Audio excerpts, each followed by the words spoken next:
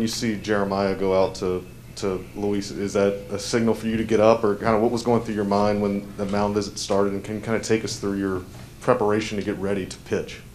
Yeah, um, I, I was, you know, caught off guard by it. Obviously, I didn't know what was going on. I know he was healthy coming into the game, so um, I was caught off guard by it. I think everybody was. So, you know, my typical routine is out the window at that point. Um, I hadn't even stretched, thrown, anything. So it was going to take me a good while to, to warm up. And I think all things, and I'm sure it felt like forever for y'all, but for me, that was about the fastest I can warm up. Um, usually takes me 30 plus minutes, and I think I did it in under 15. So um, not ideal, and it's not like it's a it's a fun warm up. You're sitting there pretty much naked in front of the other team. They get to watch every single pitch you're throwing. They get to see every shape, everything. So it's not an ideal way to warm up, especially when I know I'm going to be asked to throw um, 80 to 100 pitches. So you know I made the most of my time and tried to go as fast as possible, and uh, you know felt the game out as it, as it went. Obviously, it's a it's probably the worst situation you can come in as a, as a starting pitcher. Um,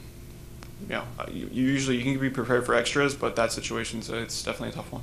We'll go to Mark here. Uh, Jake, having said all that, how would you assess your time out there today? Um, you know, I sucked up four innings.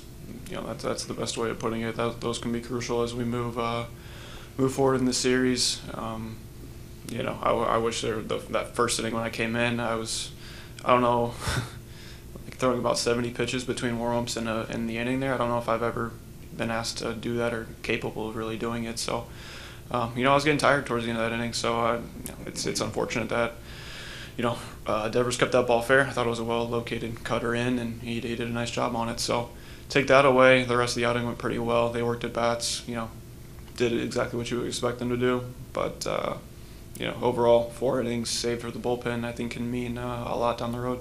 Yeah, right up front. Forgive me as I look ahead, but this thing quickly moves uh, ahead in this series. If I could, could ask both of you, uh, how do you feel about the series being tied 1 1 1? Where you are, D- Dusty adamant that no matter what you guys face, you simply don't quit. You kind of forget it and move on.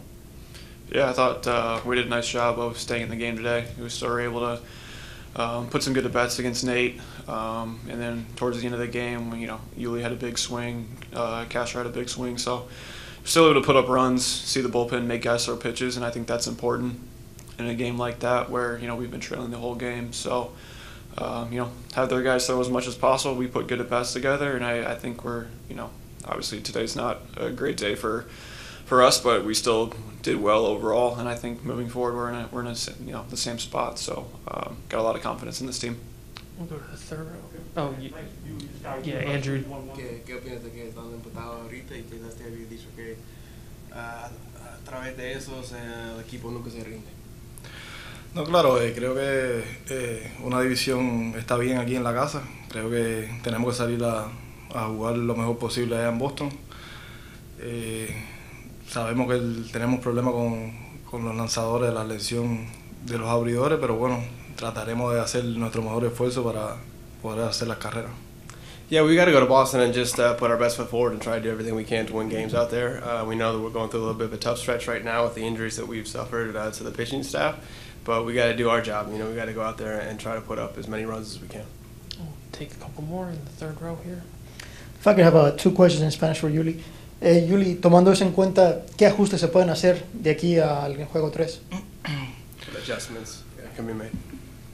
Mm, no, creo que, que, hasta ahora, bueno, el equipo ha hecho las carreras, ¿no? Que es lo principal. Creo que una de las partes que, que tendríamos que seguir como lo estamos haciendo es batear con corredores en posición anotadora, que es la clave principal.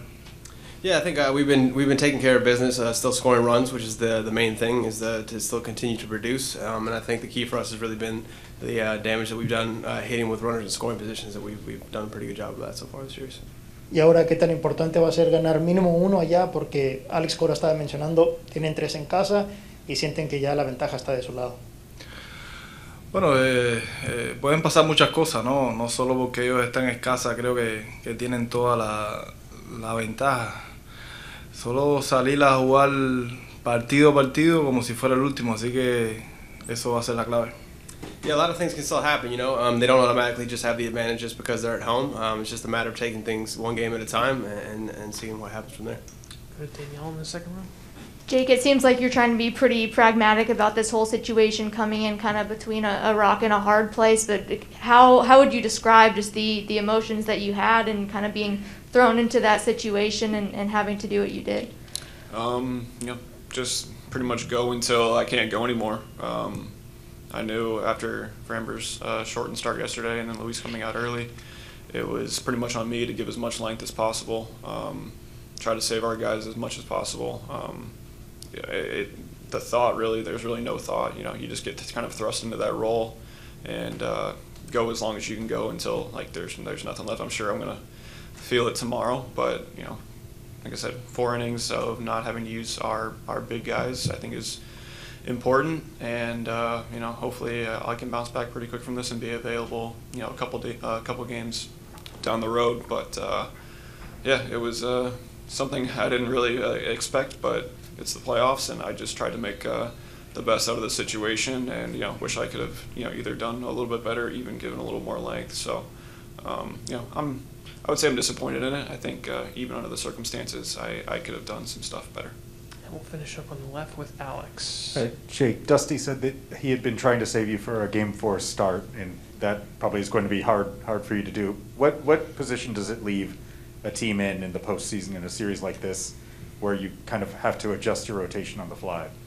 Yeah, it's a, it's a tough situation. Um, you know, we can we can piece it together the best way we can. I think that's the best way to look at it is focus on each game, try to make the most out of each game, win that game, move on to the next game. We'll figure out. You know, it's it's kind of like let's just push the problem as far as we can. Let's focus on today, and then worry about the next day. Um, you know, if we start looking down the road of trying to set things up, there's a lot of time that passes in between. So, um, you know, I don't think I'll probably be able to start that game now. Um, I don't think that's much of a secret, but um, hopefully I'll be able to contribute soon around that time and uh, you know do everything I can to bounce back quickly. But we're just going to be focused on Game Three, getting off to a good start there, and uh, you know we'll see what where we're at after that. So we just have to take it one game at a time from a pitching staff and, and piece it together.